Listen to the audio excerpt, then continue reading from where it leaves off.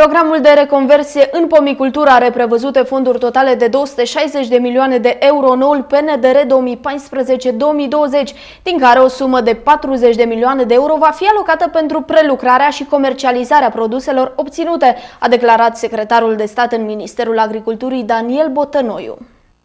În noul Program Național de Dezvoltare Rurală 2014-2020 avem alocată o sumă de 220 de milioane de euro pentru modernizarea și reconversia plantațiilor pomicole și alte 40 de milioane de euro pentru prelucrarea și comercializarea produselor obținute. Programul face parte din măsura investiții în active fizice, fostă măsură 121 din actualul PNDR, pe care o vom deschide în luna mai din acest an. Sub măsură de pomicultură va fi deschisă însă numai când vom avea aprobarea pe PNDR și va apărea ghidul, a spus Daniel Botănoiu. Potrivit datelor Ministerului Agriculturii, prin subprogramul de pomicultură vor putea fi reabilitate în jur de 35.000 de hectare de plantații pomicole, iar obiectivul instituției este ca până în anul 2020 România să atingă o suprafață față de 200.000 de hectare cu livezi, de la circa 140.000 de hectare în prezent, din care 60.000 de hectare sunt în declin. Patrimoniul pomicol românesc a înregistrat un continuu declin în ultimii 5 ani, de la 207.000 hectare la numai 142.200 hectare ocupate în prezent. Lipsa investițiilor în domeniu a adus multe livezi în declin și paranghină. Potrivit datelor MADR, producția totală de fructe în anul 2012 a fost de circa 1,2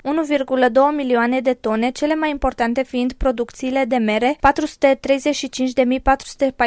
tone și de prune 424.000 de tone. Producția internă asigură 70% din necesarul de consum estimat la 1,4 milioane de tone. Specialiștii din pomicultură afirmă că producția de fructe realizată în România nu reflectă potențialul real al țării, principalele cauze fiind determinate de faptul că 90% din fermele existente sunt mai mici de 3 hectare, deși ar trebui să existe ferme viabile de 10-20 de hectare. De asemenea, există un grad redus de dotare a exploatațiilor cu mijloace tehnice moderne de producție și recoltare. România are alocată o sumă de 8,15 miliarde de euro din Fondul European Agricol pentru dezvoltare rurală pentru următorii șapte ani, aceste sume fiind orientate de autorități către 14 măsuri principale. Cele mai consistente fonduri din noul PNDR vor fi distribuite către măsura privind investițiile în active fizice, care are prevăzute fonduri de 2,57 miliarde de euro și care include submăsurile dedicate modernizării fermelor, procesării și infrastructurii.